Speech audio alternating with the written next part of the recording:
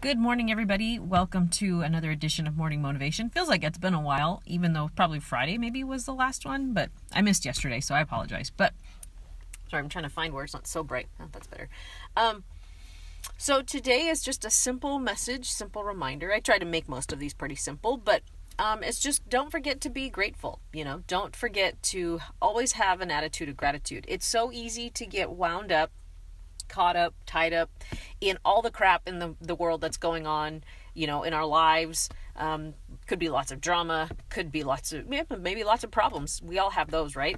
So, but it's still important to remember um, that there's always something to be grateful for. You know, sometimes it's just grateful to still be alive. Maybe it's grateful to just have another day here. You know, maybe it's grateful for the family that you have or the friends that you have, the support you have. Maybe it's just grateful that you have a job when so many people don't. So just remember to always be grateful, especially when you get caught up in all of the negative bullshit.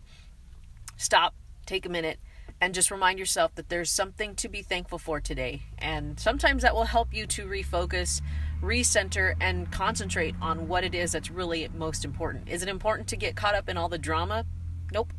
Is it important to get caught up in all the negativity, especially on Facebook? Nope. Um, Daniel, always count your blessings. Exactly. And good morning, Daniel. Thanks for watching. Um, so yeah, just just always remember that it's easy to get caught up in the crap.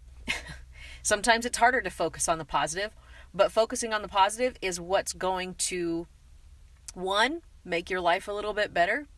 Two, make those around you a little more positive. You can be the positive influence that people need that are around you. Sometimes, if you find yourself surrounded by negativity, think about one either how can you change that by changing the people that are around you or two how can you change that by changing your own attitude? So focus on the positive. Focus on what you have in your life to be grateful for. You know take a minute to recenter refocus and then you'll probably have an easier time even problem solving some of the issues that are going on so sometimes it's a matter of perspective sometimes it's a matter of getting organized um, but don't forget to be grateful. That's for me. I try to do my daily moment of gratitude over on my fitness page every night. I'm not great at doing it every night. You know, sometimes I do forget, or I might just post it instead of going live. But if you need help remembering, join me over at Hustle to Muscle Fitness. Usually it's every night around 6:30 or so. And I do my really quick daily moment of gratitude. I always ask to hear what you guys are grateful for. So if you need help to remember to focus or you remember what you're grateful for, join me over there. So Anyway, have a great day. It's a beautiful day out there, at least if you're living in the Yakima Valley, hopefully where you are too.